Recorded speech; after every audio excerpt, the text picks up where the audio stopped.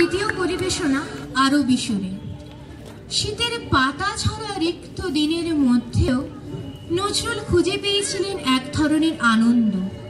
নূতন সৃষ্টির আনন্দের গীত, এই গান যেন ছড়িয়ে পড়েছে প্রকৃতির চরাচর জুড়ে।